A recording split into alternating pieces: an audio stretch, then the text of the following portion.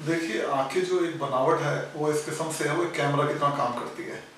सबसे आगे तो कॉर्निया होता है, बिल्कुल जो ट्रांसपेरेंट ग्लास लाइक स्ट्रक्चर होता है, आपको नज़र आता है। उसके पीछे आइरिस होता है brown colour black colour blue colour जो अलग अलग रेसेस में अलग अलग ढंग से कलर होता है उसका। और उस आइरिस के बीच में एक ओपनिंग होती है प्यूपिल तो होता क्या है, जो लाइट है कॉर्निया ट्रांसपेरेंट मेम्ब्रेन के थ्रू अंदर जाती है प्यूपिल से एंटर करती है, और फिर पीछे हमारी आईज में रेटना पे पड़ती है। तो जो लेंस के थ्रू जा रही है प्यूपिल के थ्रू जो लाइट जा रही है, और रेटना के बीच में चार पाँच एम की जेली होती है। ये जेली बिल्कुल थिक जेली होती है यंग एज में।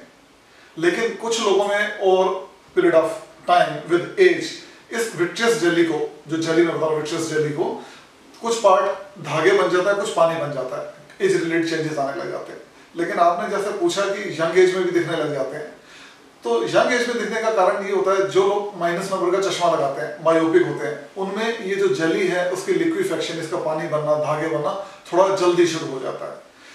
जब लाइट पास हो रही थी उस जली के थ्रू जो पार्ट धागे बन गया होता है जली का, उसी की शेडो रेटिना पे पड़ती है और आपको वो black spots dot like cobweb like या धागे की तरह वो स्ट्रक्चर्स आँखों के आगे मूव करते हुए नज़र आते हैं, क्योंकि जेली आँख की मूवमेंट के साथ हिल रही होती है।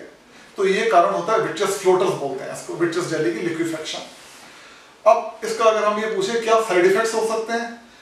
अगर आपको एक दो धागे दिख रहे हैं फ्लोटर्स दिख रहे हैं तो उसमें कोई डर वाली बात नहीं है। लेकिन एकदम से बहुत सारे स्पॉट्स आ गए। जेली कॉवेब आ गया, या sudden shower of black spots आ गया।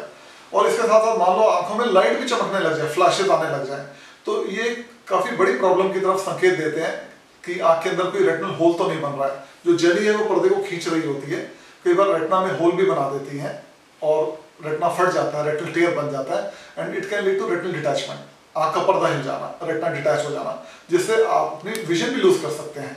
तो सबसे ज़रूरी है, जब भी आपको ब्लैक स्पॉट्स फ्लोटस का पता चले आँखों के आगे तो आपको तुरंत अपने रेटना स्पेशलिस्ट आई स्पेशलिस्ट के पास जाना है। वो आपको दवाई डाल के पुतली को फैलाकर रेटना चेकअप करेंगे। ये देखने के लिए कि आपकी आँख में कोई रेटनल होल तो नहीं बना है। एक और इंपॉर्टेंट चीज़ होती है ब्लैक स्पॉट्स आने का कारण होता है ब्लीडिंग आँखों के अंदर आना।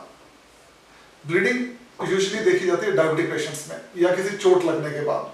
तो आपको अगर चोट लगी है, आप डायबिटिक हैं तो भी आपको अपना रेटना स्पेशलिस्ट के पास विज़िट करना है, ये दिखवाने के लिए कोई ब्लीडिंग तो नहीं हुई है, कोई छेद तो नहीं बना है रेटना में, ताकि एक बाहरी दिक्कत से आने वाले टाइम में बचे जा सकते हैं। आपकी रोशनी को लंबे टाइम के लिए हम कायम रख सकते हैं।